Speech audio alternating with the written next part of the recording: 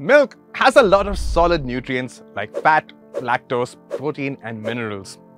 When you boil milk, all those solid nutrients combine to form a creamy layer at the top of the milk. Along with this, water vapor starts to evaporate from the milk and deposits under that creamy layer. After you heat it some more, the water vapor expands and creates enough pressure to push that thick creamy layer up, causing the milk to rise and escape from the pan. For more interesting videos, don't forget to subscribe.